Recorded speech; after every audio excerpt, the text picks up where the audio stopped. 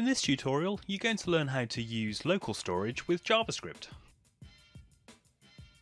So there are a few different ways that you can store information in a user's browser, with cookies, local storage and IndexedDB being the three main ways. In this tutorial, we're going to focus on the second method, local storage, and I'll show you how to set data in the local storage and also retrieve it on a subsequent reload of the page. So to save something into local storage, we simply call the setItem function that's available on the local storage object. And as you can see from the function signature, it requires a key and a value, very much in the same way that a normal JavaScript object would have.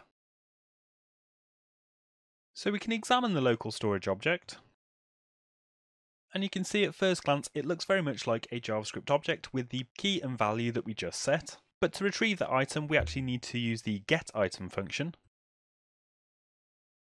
Alternatively, some browsers will allow you to access the property names directly but it's probably safer for browser compatibility to use the getItem function as that's standard across most modern browsers. You can also inspect the contents of local storage from your developer tools.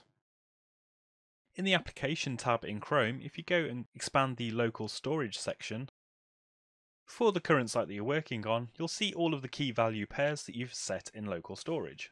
So can you store any type of data within local storage? Well, it is possible to store arrays and objects and other complex types of data within your local storage key value pairs, but there is a bit of extra work to do with them.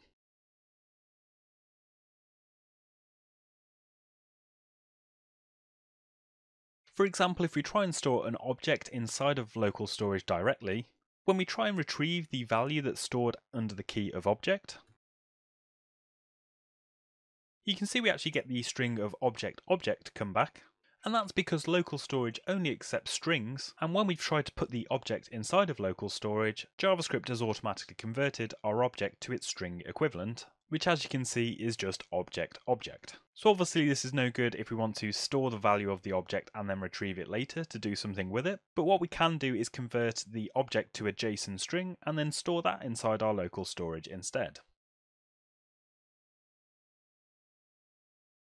Now when we retrieve our object key from local storage, we get the actual object come back as a JSON string. And if we wanted to use this again in our code, we just need to use the json.parse function to convert it back into an object. So the same thing goes for arrays or other complex types of data that you might want to store within local storage. Just remember that local storage will only accept strings, so you need to do some kind of conversion, both when saving the data in local storage and retrieving it in order to preserve the data structure for use in your code. So you have just a simple overview of how to use local storage with your JavaScript code.